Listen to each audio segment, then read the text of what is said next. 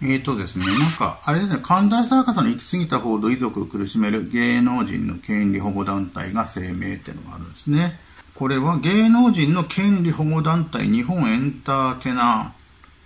ーライツ協会っていうのがあるんですね。弁護士などで作る芸能人の権利保護団体が、えーと、1月22日、報道機関や週刊誌、配信会社に対して冷静かつ慎重な対応を求める声明を発表したと。声明は報道の中に神田さんのプライバシーを侵害することまで行き過ぎがあると指摘。その取材や内容は家族を亡くしたばかりの遺族を苦しめる者が多いと批判していると。多くの国民の方々は各報道機関や週刊誌に対し、ご遺族の関係者を苦しめるほどの取材も報道も一切期待していません。またそのような記事の配信も期待しておりません。私たちは報道機関、週刊誌及び配信会社等に対して、ご遺族や関係者のために冷静かつ慎重な対応をすることを求め、今後芸能人が亡くなられた場合の取材、報道及び配信に関して、遺族や関係者に配慮した一定のルールを作ることを強く期待します。まあ言ってることはわかりますけどね。ただね、国民の多くが期待してないというよりは、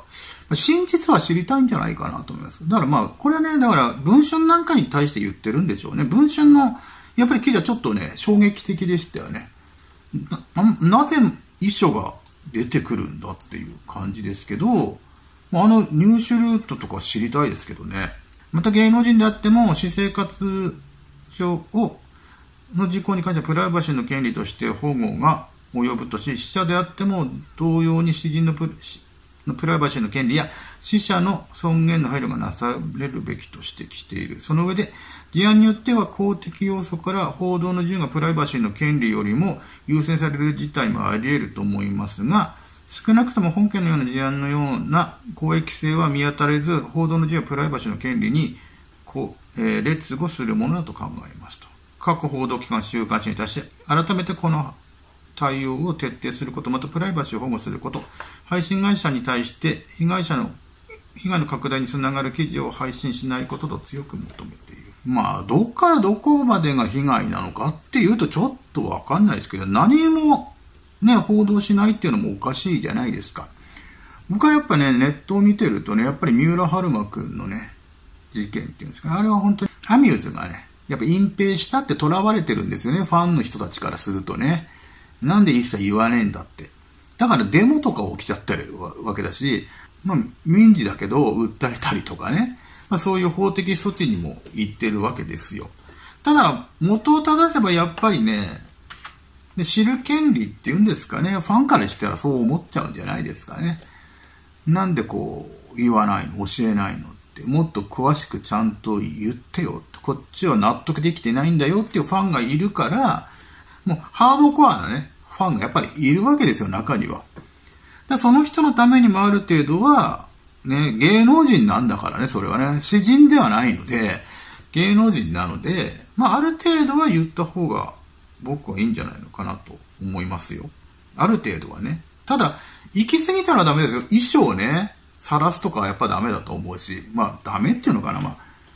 そこを誰が引っ張ってきたのか出したのかっていうのもそうだろうし、あの、僕が良くないのは神田正輝さんとか松田聖子さんに直接ね、今のお気持ちはどうですかって聞く記者とか、ああいうのは最低だと思いますよ。あと家行ってピンポンしたりとかね、そういう、あの家の前でね、ずっと張ってたりとか、そういうのは良くない。大迷惑なんで。ただやっぱり取材をしてね、ちゃんと自分の足で取材して、まあそうですね、ここまでは言うべきだろうっていうところのポリシーがありゃ、ね、それはやっぱり、こっち側っていうのはね、興味ありますからね。一切興味ないなんてことはありえないので、やっぱり興味あるので。しかもテレビでは全然最近取り上げないから、うん、やっぱり週刊誌とかインターネット頼るっていうところはあるんじゃないかなと思いますけど。まあ、その中で僕が心配なのはね、前山さんですね。前山さんの、うん、SNS が大荒れっていうやつですね。前山武久の SNS が炎上している。前山は神田さんの死後交際相手とし交際相手として名前が浮上を。で、文春でね、そうね、元カノとの関係に神田さんが悩んでいたという記事を配信している。で、同サイトによると、神田さんは生前、彼にひどい目に遭わされたなどと告白をしている。まあ、まあ、文春のサイトっていうか、まあ、文春に書いてありましたからね。で、まあ、その直後から、前山さんのね、SNS に誹謗中傷の書き込みが殺到、前山ファンとしての間でのバトルが勃発していると。実際にネット上では、前山武久許せんな、きちんとファンに説明してほしい。前山さんと別れたって元カノに報告したんでしょう。真相はわからんけど、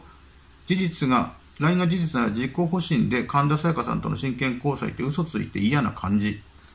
今は何もコメントを出さずおとなしくしていた方がいいのでは批判を避けるためだけの保身だと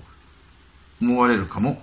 記事を鵜呑みにするわけではないが、今交際していたとか、将来を考えていたとかコメント出すタイミングではないよ。その神経がわからない。終わったね。誠実な人だったらこんなことにはならなかったのに。などの様々な声が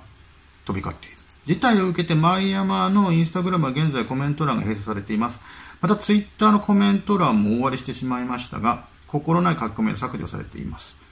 前山自身は業界内でも評判が良く、関係者が口々に好青年と評価しています。神田さんもそんな前山さんの人柄に惹かれたのでしょう。男女のことは当事者同士しか分からないことも多く何も知らない第三者が憶測で物を語るものはいかがなものでしょうか。ファンも言いたいことあるんでしょうが、しばらくの間静観した方がいいと思いますね。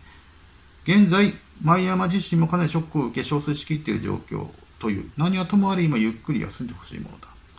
だから僕、だから僕は前山さんのメンタルがすごく心配ですけどね、本当に。何回も言いますけど、僕は前山文章を読んで、前山さん悪い人じゃないと思うんですよ。ああれを読む限りでは、神田沙也加さんのことを一生懸命、え立ち直らせようとして、もともとメンタル、まあもともとね、メンタルがね、やられててね、病院に通ってて薬もね、多くなっていた。から薬を減らしていこうという、あの、スケジュールも書いたりとかして、出したりとかしてね、ちゃんと考えてたんだと思うんですよ。まあね、ただ疲れると思いますよ。あの、そういうメンタルが弱ってる人の相手をするってのは疲れると思うんだけど、でもそれなりに僕はあれを読んだ限りは誠実にしてたと思いますけど。ただまあ、どうなんですかね。こうなった原因の一つであることは間違いはないと思うんですよ。まあ、前山さんとね、まあ、こう、たらればになってしまいますけど、前山さんと付き合わなければ、こうはなってなかったなと思うので、まあ、で、多少言われてしまうことはしょうがないと思うんだけど、ただね、この、まあ、こっちも書いてあるけど、このまま引退するのではとか、メンタル心配の声がファンからあると。なんか引退しそうですよね。山山武久さんは神田沙也さんの件でひどく落ち込んでいるようです。また文春法が出た時点、ことで、さらにメンタルがやられてると言われますと。それで事務所も、所属事務所は前山が突然の秘宝に多大なショックを受け、憔悴しきっていると説明、医師の指導を受けメンタルサポートをしているとした、としたっていうぐらい、まあ、結構やばいんじゃないかなと思いますよ、これは。ね、仕事も降板しましたしね。で、前山さんに対する擁護するファンもいると。前山さんは現在憔悴しきっているそうです。文春法でイメージが崩れてしまいましたが、擁護するファンもいますと。前山さんを擁護するファンの声は、文春法は真相が本当なのか不明。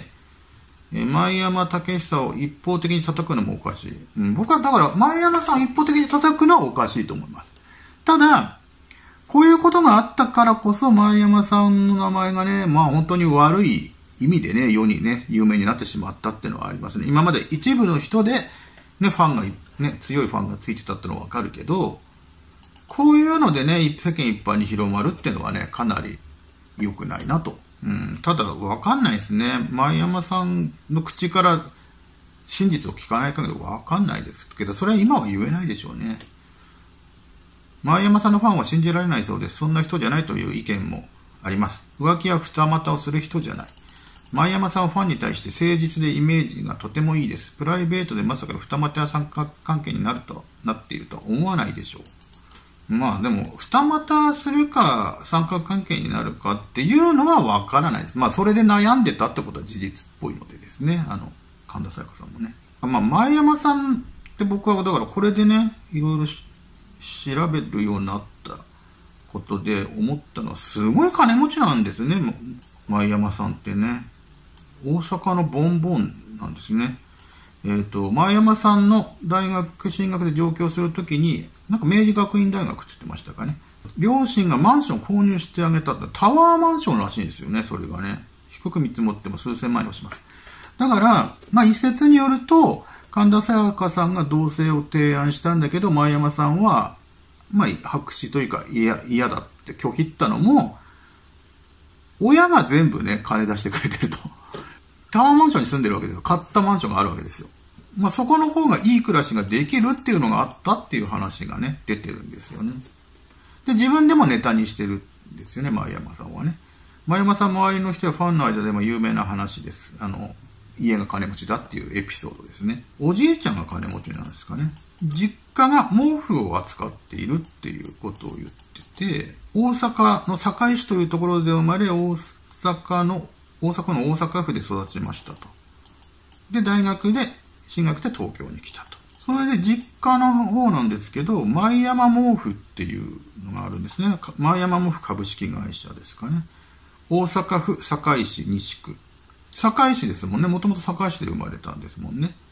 前山毛布堺工場とかね。結構前山グループって言われてるみたいですよね。大阪市泉佐野市の前山タオル株式会社や前山グループという企業があるという声もありましたと。ここはネット版で、掲示板で。全部グループ企業みたいですね。毛布屋というけど、前山グループの傘下ではいろんな子会社で繊維物を売っているっていう。前山さんのファンからは、前山武久リアル御曹司というツイートもされている。完璧な人なんですよね。こんなにイケメンでね。実家もすごい金持ちで。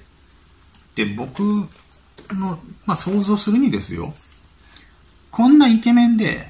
実家金持ちでしょ？まあ、おのずとこの方も金持ちじゃないですか。性格いいと思いますよ、かなり。やっぱりね、裕福で余裕があって、しかも見た目もこんなにかっこよくてみんなから持ってる人っていうのは、絶対性格いいと思うんですよ。だから、まあ、持ってってだろうなと思うし、うん、まあ、女の子は寄ってくるんだろうな神田沙也加さんが好きになるっていうのもわかるけど、神田沙也加さんに冷たくしたりとかはなかったんじゃないかな。まあ、ただ、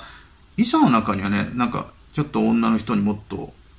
きつく言うのはやめた方がいいよみたいなことは書いてありましたけどね、置き手紙にね。でも本気で好きだったんだろうなって感じはしますね。ただまあメンタルが心配ですね、そういう、ね。芸能界は好きでやってんでしょうけど、引退したところでね、時間金持ちだったらいいんでしょうけども、